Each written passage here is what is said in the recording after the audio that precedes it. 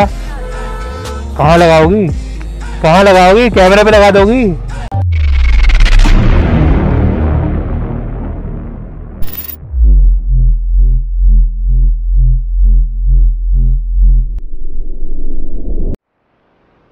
है good morning guys good morning from Vrindavan स्वागत है आप लोगों का नए सफरनामे पे, नए दिन में, नया और आज हम वृंदावन में स्टे कर रहे हैं। जैसा आप लोगों को लास्ट ब्लॉग में पता ही होगा कि हम वृंदावन में रात में एक होटल में रुक गए थे श्री राधा करके उसी होटल में हम हैं।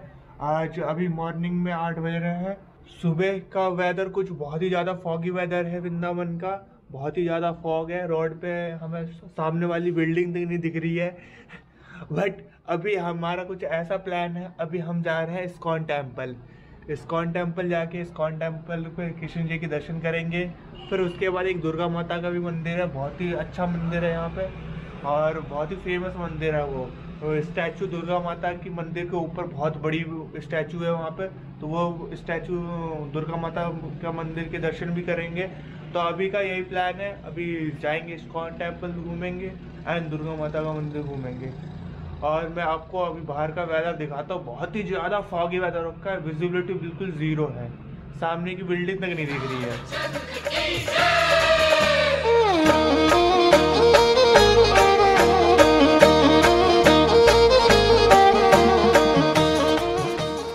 तो गाइस हम इस्कॉन टेंपल आ गए हैं। ये मेरे पीछे इस्कॉन टेंपल है। और अभी जो बहुत ज़्यादा फॉगी वेदर हो रखा है, कुछ दिख नहीं रहा है। विजिबिलिटी मुश्किल से 10 मीटर की भी नहीं है। बहुत ज़्यादा मतलब इस टाइम तो हम राइड की सोच भी नहीं सकते, इसलिए हम भैया आ गए अपना टेंपल घूमने, भगवान का दर्शन करेंगे तो उसके बाद ही कुछ डिसाइड करेंगे क्या कर रहा है आज का अगर ऐसा ही मौसम रहा तो भाई साहब, बहुत ज़्यादा हमारी हालत ख़राब हो जाएगी अगर राइड करेंगे तो।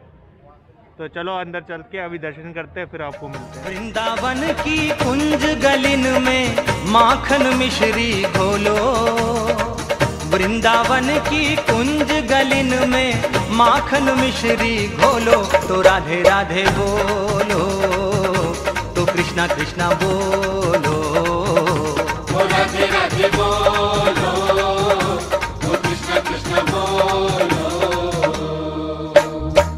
अवधपुरी सिया राम बसत हैं साथ उन्हीं के होलो। अवधपुरी तो गाइस इस्कॉन टेंपल में ना बहुत सारी शॉप्स है। जैसे आप एंटर करोगे ना, यहाँ पे बहुत सारी शॉप्स है। यहाँ पे आप शॉपिंग और अपना ब्रेकफास्ट भी कर सकते हो। यहाँ पे वो यहाँ पे मिठाइयाँ भी मिलती है, कपड़े वपड़े भी मिलते हैं और बुक्स भी मिलती हैं। तो आप यहाँ पे अपनी शॉपिंग भी कर सकते हो, क्योंकि इंटरनेशनल बुक शॉप भी है। वो तो गाइस इस्कॉन टेंपल से हमने निकल गए। इस्कॉन टेंपल में हमारे बहुत ही अच्छे दर्शन हुए। और वहाँ पे पाठ भी चल रहा था, जो कि इंग्लिश लैंग्वेज में चल रहा था, और वो उसका लाइव टेलीकास्ट हो रहा था वर्ल्ड वाइड तो हम उसमें उतना टाइम था नहीं हमारे पास, जो बैठ के पाठ सुने। बट वहाँ से हमने शॉपिंग करी, जो बुक स्टॉल जिन्हें इंटरनेशनल बुक स्टॉल वहाँ से हमने बुक ले ली है। इसका पढ़ने का टाइम मिलता है कि नहीं मिलता है? देखते हैं। कुछ पता नहीं, ले तो ली है, बस। ट्राई करेंगे, पढ़ेंगे फिनिश करेंगे इसको, और थोड़ी ज्ञान की बातें लेंगे। अभी का कुछ ऐसा प्लान है। अब हम जा रहे हैं दुर्गा माता के मंदिर। दुर्गा माता का मंदिर इस्कॉन टेंपल से अराउंड थ्री किलोमीटर के आसपास है। तो अभी हम एक ई रिक्शा लेंगे जो ई रिक्शा आपको टेन रुपीज़ लेता है। टेन या ट्वेंटी रुपीज़ लेगा, आपको छोड़ देगा ड्रॉप कर देगा। यहाँ पे ये ई रिक्शा का बहुत अच्छी फैसिलिटी है। टेन टेन रुपीज़ लेते हैं, आपको ड्रॉप कर देते हैं। चाहे बाकी बिहारी जाना हो, प्रेम मंदिर जाना हो, या आपको इस्कॉन टेंपल जाना हो, दुर्गा माता का मंदिर जाना हो। तो टेन रुपीज़ दीजिए, आप ट्रैवल कीजिए। सबसे अच्छा कन्वीनियंट वे वही है ट्रैवल करने का। तो चलो आपको मिलते हैं साथ उन्हीं के होलो तो सिया राम बोलो तो सिया राम मंदिर में हम आ गए हैं। ये वैष्णो माता का टेंपल है। यह ठीक पीछे हमारा टेंपल है। यहाँ पे हमने दर्शन कर लिए। दर्शन हमारे बहुत ही अच्छे हुआ था। ज़्यादा भीड़ नहीं थी यहाँ पे। खाली हम ही लोग ही थे। तो हमारे दर्शन बहुत ही अच्छे हुए। यहाँ पर फैसिलिटी बहुत अच्छी है, जूते रखने के लिए अलग है, पर जूते आप अगर लॉकर रूम लोगे, उसके चार्जेबल है। तो आपको डिपेंड करता है क्वांटिटी कितना है सामान आपके पास, उस हिसाब से आपको चार्ज करते हो वो लोग। अगर कॉस्टली ज़्यादा सामान होगा तो ज़्यादा चार्ज करेंगे, कम कॉस्टली होगा तो कम चार्ज करेंगे। और बाकी बहुत ही अच्छा रहा है। लास्ट में आपको प्रसाद मिलेगा, जैसा वैष्णो देवी भी मिलता है, वैसे आपको यहाँ पर भी प्रसाद मिलेगा। माता रानी का खजाना माता रानी का खजाना और प्रसाद मिलेगा। तो उसको लीजिए आप वो खाइए और इन्जॉय कीजिए। चलो जय माता दी।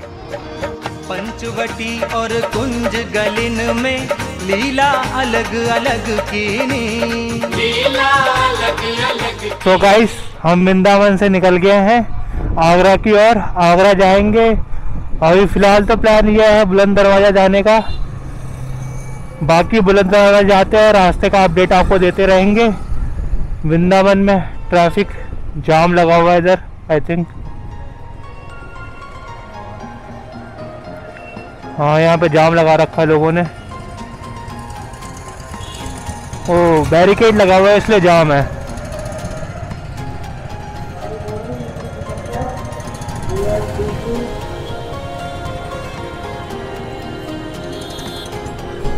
आगरा जाने के लिए आपको यही रास्ता फॉलो करना है जो प्रेम मंदिर वा, वाला प्रेम मंदिर वाला है रास्ता है वो आगे जाके आपको टी पॉइंट पड़ेगा जो मथुरा आगरा वाला हाईवे है एन एच नाइनटीन उसको आपको पकड़ना आगरा जाने के लिए फिर वो सीधा आपको आगरा ले जाएगा। तो अभी भी हम अभी हम वही फॉलो करेंगे अभी जा रहे हैं टी पॉइंट से टी पॉइंट से हम लेफ़्ट लेंगे उसके बाद सीधा आगरा जाएँगे। सो गाइस देखिए कितना बढ़िया स्टैचू है, कितनी बड़ी स्टैचू है माता रानी की। ये मॉर्निंग में दिख नहीं पा रही होगी आप लोगों को, क्योंकि बहुत ज़्यादा फॉगी वेदर था। कहाँ लगाओगी?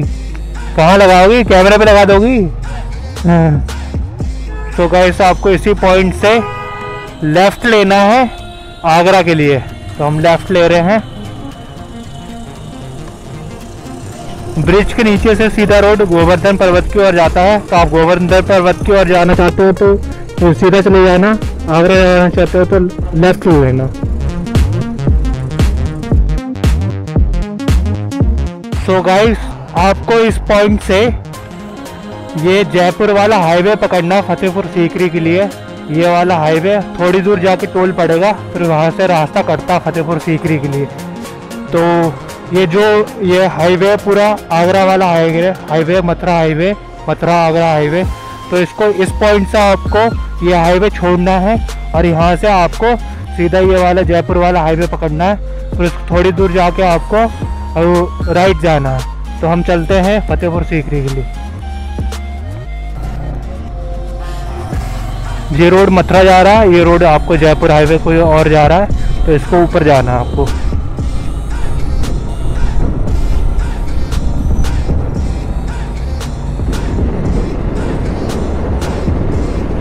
काफ़ी ज़्यादा ग्रीनरी है, साथ साइड में खेत है तो ये बाईपास रोड है तो दो तरफ़ इसके ज़्यादा बहुत ज़्यादा ग्रीनरी है, खेत है, बहुत सारे तो मज़ा आ रहा है राइड करने में।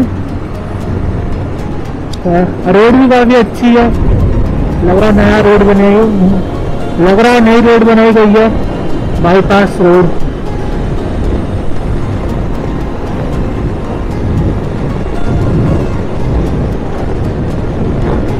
सो गाइस आपको इस पॉइंट से ये बाईपास रोड छोड़ना है और इधर आपको लेफ़्ट जाकर राइट लेना है।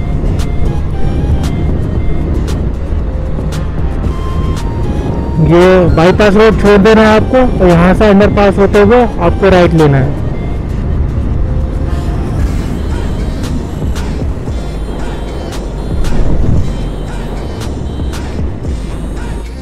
यहाँ से आपको यू टर्न लेना है। और इस पर आपको राइट जाना है। इस पॉइंट से यू टर्न लेके हमें राइट जाना है।